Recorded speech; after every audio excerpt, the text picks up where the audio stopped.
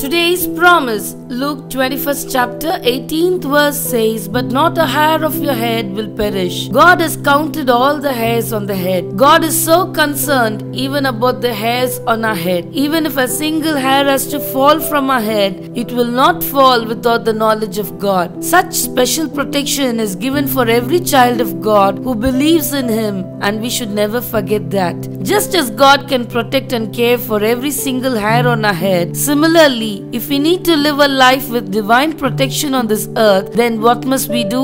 Luke 21st chapter 17th verse says, Everything will happen by the power of his name, and he will protect our lives. If we will adorn the name of God and believe in his name, we can also receive this divine protection in our life. May this day be a blessing to you. God bless you.